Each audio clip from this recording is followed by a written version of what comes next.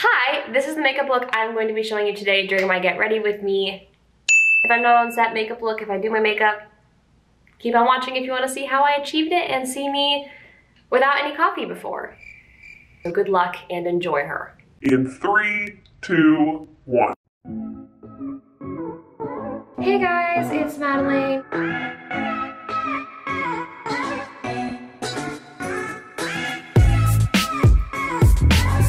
I am here today to show you my current everyday makeup look for Madeline Life. I was kind of inspired to do this because my new Ipsy Glam Bag for April just arrived. This video is sponsored by Ipsy. It's always exciting when I get it in the mail because I have new products to try all the time. So I'm gonna also incorporate these products into my makeup look today because Why not? I was on set until the wee hours of this morning, so I'm a little tired, but I'm happy because I've been working a lot more on the show. Today I've got some like ancillary tasks I have to get done in the world and then some meetings. So I thought I would just do a quick little get ready with me. with you, with me. My brain is fried. In other news, I started making my own cold brew at home. And it is so good and delicious. I love it. So we are gonna wake up together. I love Ipsy. It's a subscription-based service personalized to you of makeup and beauty products right to your door. You can pick between full-size and mini-size products depending on the price point that you want, and it arrives every single month. And you get to try a plethora of new and amazing products that come right to your door. It literally could not be more exciting to get my Ipsy bag every month and play with all the goodies within. Hey, can you stop? My dog is like chewing on this string on my sock, and it's really distracting me. Hello, hello. Alrighty then, let's clip my hair back. I took these haircuts from set, don't tell me. All right, I am a firm believer in starting with the eyes, and I'm gonna start with the Anastasia Beverly Hills Mini Eye Primer. It's gonna work, it's like so metallic. Also, I've never done it before successfully, so we'll see. I need a mirror. Me putting this on my hand before I'm ready, not a smart choice. So I'm just gonna put my eye primer. One thing you're gonna learn about me, the more of these videos you see, is that for some reason, I never use the right brush for the right thing. I am by no means a professional. This is just the way that I like to do my makeup. Like this is technically, oh, this is a flat eyeshadow brush. So I guess I am using the right brush right now, but typically when I'm in the makeup trailer for set, I am using eyeshadow brushes for concealer, you name it, I probably do it. So now that I have the Anastasia Beverly Hills eye primer on, I am gonna go in. Very ballsy of me to wear a white hoodie in this. I'm just gonna do a very light eyeliner. I have a little gel pot of eyeliner and definitely the wrong brush for the job. But I just wanna do like a very light winged out brown liner today. Okay, whenever all of us being quiet, I know she's doing something bad. One second. She was chewing on my brand new heels. Not that I even have anywhere to wear them, but they're so cute. This is always a process, so just bear with me. I don't know why I hunch over and have to have my mouth open. I'm like, okay, lightly get the eyeliner on the lash line, like so. I'm gonna clean this up later. They're two very different shades. To me, this is the easiest way to do eyeliner, is just do it however you want and then clean it up later. Now you have a nice little shape. Eyeliner is always the longest part for me. I've been shooting for 15 minutes. I'm gonna go in with another one of my Ipsy Glam Bag products. This is the Belle En Argent Duo Eyeshadow in Shutter Speed and Cinephile. So first, ah! I'm gonna dip into the warm brown shade, which I'm assuming is Shutter Speed, very pigmented. So I'm just gonna blend it out into a point here, and then again, we're gonna clean up. Blend, blend, blend. All right, I'm gonna do the same thing on the other eye. And then I like to kind of go over the eyeliner with the eyeshadow to just make it a little bit less aggressive. Okay. So obviously it's very messy right now the way that I applied it. So I'm just gonna go in with a light shade in any palette and blend it out. I use the same brush. And then I'm gonna grab my same Q-tip and just clean up because I suck at being precise with my eyeshadow. Okay. And my final step to my eyeshadow look is going to be adding the shade Cinephile to the center of my eye. Look at how gorgeous that is on the brush. By tapping it on. Does anyone else like hunch over and open their mouth when they're doing eye looks? Just me? Yep, that's my eyeshadow look. All right. Curl my eyelashes. Another Ipsy Glam Bag product. This is the Milk Makeup Kush Mascara. I see this Everywhere. Look at that brush. Whoa. Do you see that? See the difference? That's just one coat. That's one coat. I'm gonna go in with my handy dandy little eyelash separator, which is dirty, and just do a little comb. And now I totally could leave it at one because this is a fantastic mascara. But now I'm just curious to see what a second coat is gonna make my eyelashes look like. I understand the hype now, I do. All right, I think my eyes are done for now. This is a holy grail product for me. I use brow styling soap from Amazon and I get a little bit of my water. Spray it in there. I don't know where my actual spoolie is, so we're gonna use the spoolie of my eyebrow pencil. When you just go in and pick up product, I think I used a little too much, but you'll get the picture.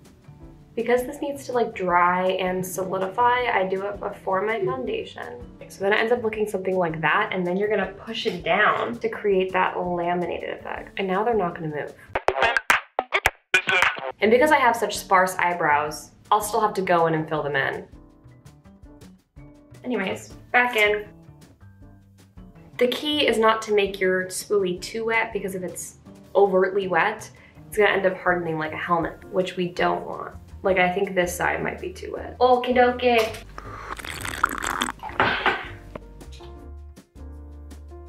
And now I'm just gonna let these dry while I do the rest of my face. Now for foundation. Sometimes I will just go in with my favorite concealer and just conceal the spots that need to be concealed and move on with my life. But today, because I need a little wake up slash pick me up on my skin, I'm going to do a full-ish face. I use a serum slash skin tint, so it's not very thick, but you get the idea. Whoa, I'm wearing white, I'm wearing white, I'm wearing white, I'm wearing white. This is stressful. I shouldn't have done it like that. Oh my god. Oh my god, that was scary. Oh my god, that was scary. Wow. Even on the show, I don't really use a foundation. I'm much more into like the light skin tints. And then I'm gonna go in with my concealer on the spots I would usually conceal. So I do just right there, my nose, a couple dots on my chin. I've got a pimple, but it's still healing. And then just a little bit right here and right there. Whenever I'm trying to cover up one of those juicy pimples like this one, I actually let the concealer sit on it for a second. I don't have anything exciting to tell you right now. I have a little guy next to it as well that needs to be covered. I used to have this amazing little tiny detail brush that I would just put concealer on with, but I lost it, so. Concealer, check. Now I actually get the back of this brush and just do some dots of cream contour. And then I'll blend it out with the back of the brush. I know this is weird. Or not blend it out, but like kind of create my shape. There's that. And then just grab a little blending brush. Or this is not a little blending brush. This is the foundation brush. I grab a foundation brush. It's kind of like a little face massage. Can you hear this? And then I take the littlest drop. I always do too much of this when I have to blend it, but I'll go into my hairline because I think I have a huge forehead in hopes that it makes my forehead look a little smaller, but it never does. Like, my forehead doesn't look any smaller, but I feel better about it. Trust the process. A little concealer, dot there, dot there, line there, line there. I'm really willy-nilly right now. I'm not even looking in the mirror. Back in with my concealer brush and just kind of bring it concealer and blend really. This is something I'm trying for the first time. Well, I'm gonna blend this out actually, it's a little aggressive. I like to match my lip to my cheek. We're gonna try this out. This is a really beautiful,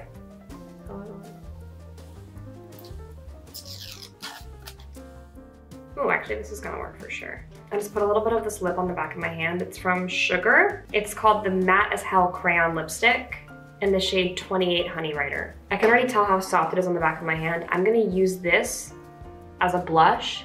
Blend this out. Wait, I think I just cracked the code. Wait, wait, this is beautiful. Hold on, I'm actually so excited. This might be my new favorite blush and it's a lipstick. Oh my goodness. Big fan. We've got eyebrows, lips, powder. Done. Let's do powder first. I'm just going in with my tried and true. I use it way too much on my beauty blender. Now for some eyebrows. I've been using the same eyebrow pencil. Not like the same exact eye. These, this. So I just create little brush strokes. Sorry. The shape's a little funky, so give me a second. This might be concealer's time to shine. And then I'm gonna use the tiniest, tiniest dot to cover because I hate plucking my own eyebrows. I'm not good at it. Eyebrows should be sisters, not twins, I know. Oh my god, I'll never forget. One of my first boyfriends' sister was quite a bit older than me.